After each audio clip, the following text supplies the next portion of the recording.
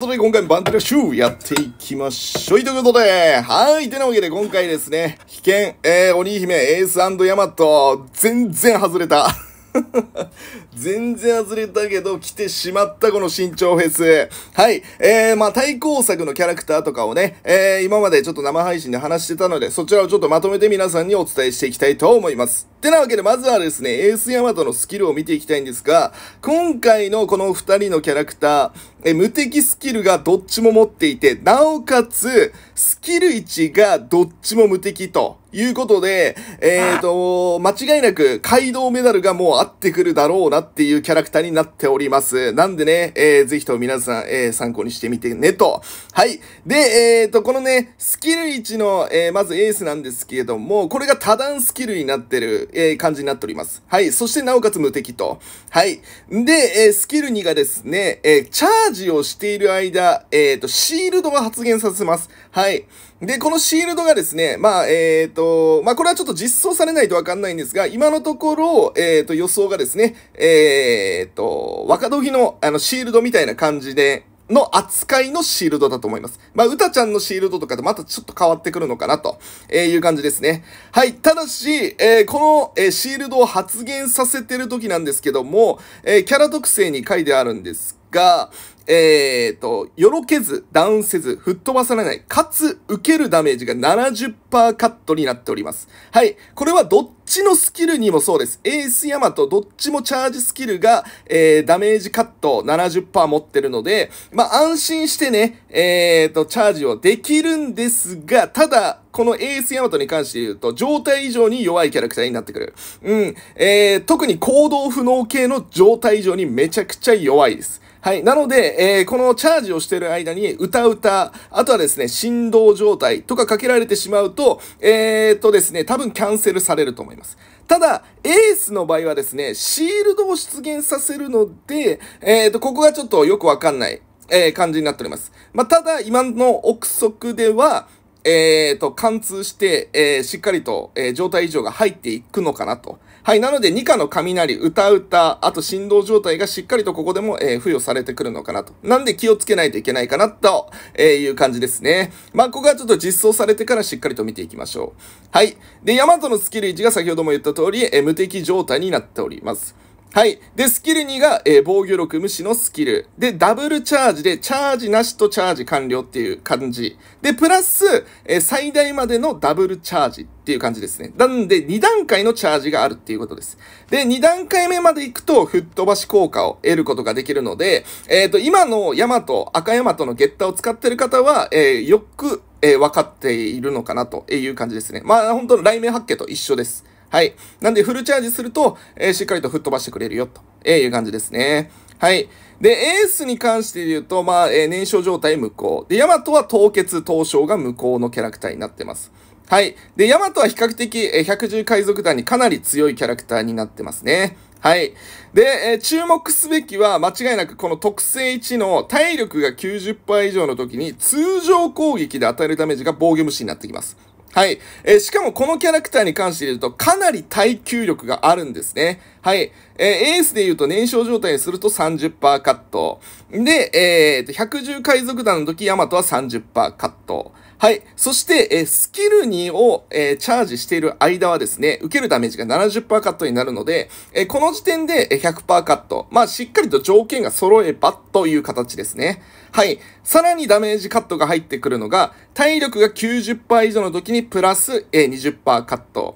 そしてパラメーター増加中の敵に攻撃された時受けるダメージが30%カット。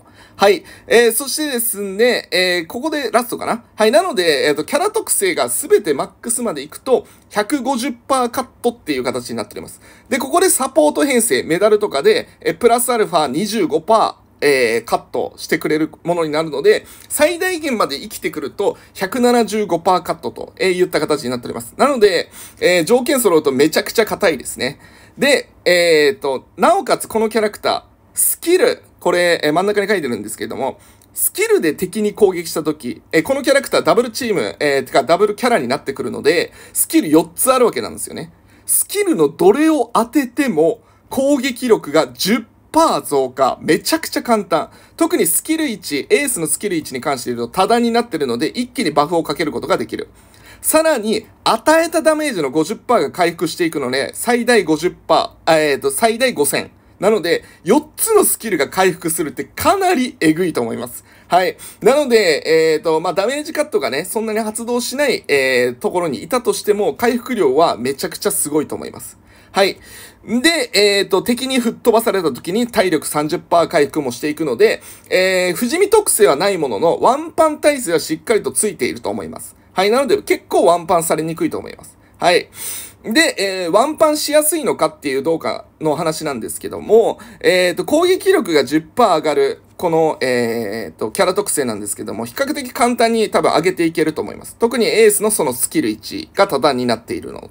うん。なので、これが最大まで75%までいけば、かなりのバフがつくので、えー、スキルに、えー、このキャラクター、スキルにどっちも防御無視になっております。なので、これすごいよね。スキル1が無敵、どっちも無敵なんですけども、スキルにはどっちも防御無視。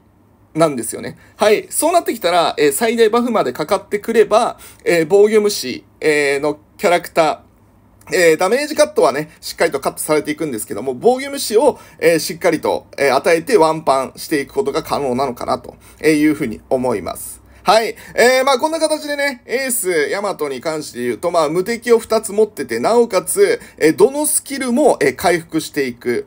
で、なおかつダメージカットがかなりついてて、えっ、ー、と、回復性能も優秀なので、かなりね、強いアタッカーだと思います。まあ、今のところですが、えっ、ー、と、まだね、実装されても使ってもいないのでわかんないんですが、キドロがどうなのかっていう話なんですけども、キドロは全然ね、えっ、ー、と、未だ環境1位を取れるのかなというのが、今の見解になってきます。やっぱり、え敵虫ダッシュっていうのと、えー、吹っ飛ばしがヤマトのこのチャージスキルになってきますね。はい。で、あとはですね、えー、っと、まあ、ここはないのかな？はい。えー、っていう感じなんで、まあ、なんで、気泥を剥がしに行くのが、まあ、ちょっとね、難しいっていうところですね。はい。えー、っていうのがあるのと、で、あと他のキャラクターに関してね、ニカが死ぬのかっていう話なんですけども、ニカも全然俺はいけると思います。はい。っていうか、環境最強ディフェンダーはニカのまんまだと思います。えー、これの一番の理由は、えー、このキャラクターが、まあ、気泥を見れるキャラクターではあるんだけども、キドロが環境最強、えー、ゲッターなのはもう間違いないので、えー、やっぱりそれを守っていく、ニカの、えー、つ、えー、150%の、えー、ゲージを貯めるのと、えー、キドロをしっかりと守れる。っていうので、えー、ニカの存在価値はそんなに変わらんかなと。うん。まあ、やっぱアルベルがね、えっ、ー、と、まあ、ニカ、今まで対応してきたので、まあ、アルベル並みのね、えー、まあ、アルベル以上の性能にはなってくるんですけども、うん、えー、まあ、なんで2課の評価そんなに変わってこないかなとえいうふうに思います。はい。で、一番評価が上がるキャラクターに関してで言うと、えー、クラッカーになってきますね。はい。えー、このキャラクターに対してめちゃくちゃクラッカー強いと思います。はい。うーん、まあやっぱりクラッカーのね、特性を知ってる方だったらわかると思うんですけども、え、ちょっとわからない方はね、え、クラッカーの特性を開いてほしいんですが、まあ本当に強く出ていけるキャラクターかなと。で、えー、死んでいくキャラクターに関して言うと、えー、緑シャンクス、えー、そしてゼファーっていう感じですね。うん。で、えーと、ゾロに関して言うと、このキャラクター、有利属性になっていけば、しっかりとゾロやっていけるんじゃないかなっていう、えー、予想ですね。しっかりと青に変わって、えー、戦っていけば。はい。なんで、ゾロの評価も今のところ、えー、そんなに変わってこないのかなというふうに思います。